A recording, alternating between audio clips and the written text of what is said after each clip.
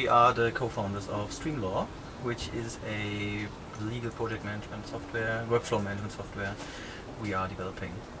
Uh, and what sort of stage are you guys at? Originally, we, we set out to because we, we're both from from big law firm, London based, which I don't know where Clifford Chance.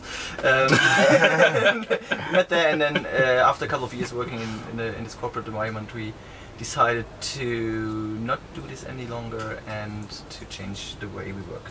How's it going for getting traction? What's the local market like in Frankfurt? And what is there? What's the startup scene like? So. It's interesting, interesting question because in, in Fra- Frankfurt's not famous for its startup scene.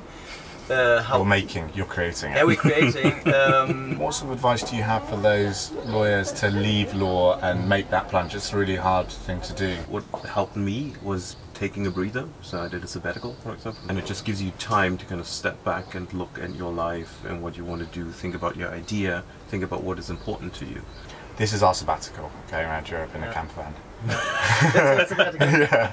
And then And maybe something you shouldn't forget, which Tamay mentioned in, in passing, is that you would be surprised how much support you get once you make that decision. It's Yeah. been amazing the way people help you and, and, and give you leads, like, like former colleagues referring clients to us, new people referring clients to you, new people promoting your idea and, and sending you here, people contacting you on LinkedIn Yeah, yeah. Spamming. just of yeah, so so it's it's it's kind of you're entering into a new world and and there's a lot of fascinating things going on one ca- no, one caveat.